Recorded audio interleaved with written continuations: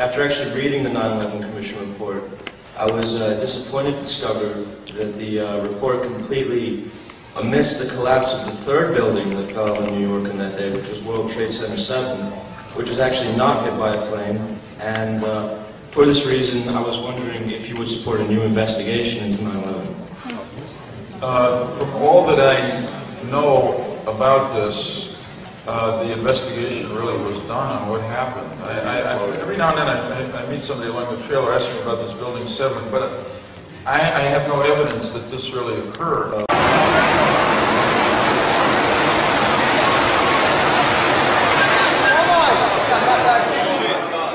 Gone, man. This commission was totally bipartisan, uninhibited.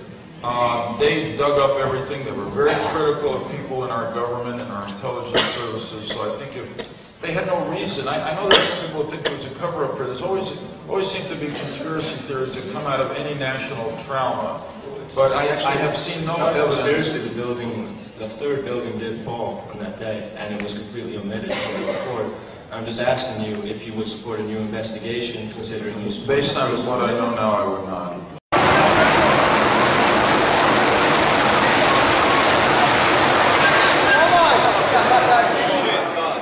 gone, man.